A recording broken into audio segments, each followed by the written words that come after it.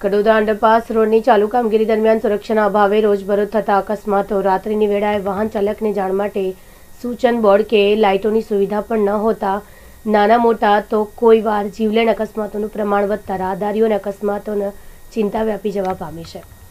કડોદરા ચાર રસ્તા ખાતે વધતી જતી ટ્રાફિક સમસ્યાને ધ્યાનમાં લઈ એકસો દસ કરોડના ખર્ચે અંડરપાસ રોડની કામગીરી માર્ગ મકાન ખાતેના સોંપવામાં આવી છે. તો કામગીરી ચાલુ હોય જેથી માર્ગ ખોદી કાઢી તેને બાજુના પતરામાં મોટા બેરિકેડ મૂકવામાં આવે છે. તેના કારણે હાઈ ટ્રાફિક સમસ્યા વધી ગઈ છે. પરંતુ રાત્રિની વેળાએ વાહન ચાલકોની સુરક્ષા માટે ત્યાં લાઇટ કે સૂચન બોર્ડ ન લગાવેલ હોવાથી તંત્રની બેદરકારી સ્પષ્ટ દેખાઈ આવે છે.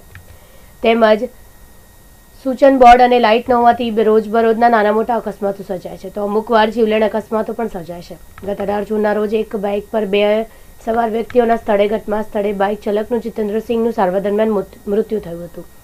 તો બાઇક પર સવાર બીજા વ્યક્તિને ગંભીર ઇજાઓ થઈ હતી. તો જવાબદાર તંત્ર દ્વારા વાહન ચાલકના જીવ સાથે ચેડા ન કરી આ સમસ્યાનું યોગ્ય સમાધાન લાવવામાં આવે તેવી લોક માંગ ઉઠી છે.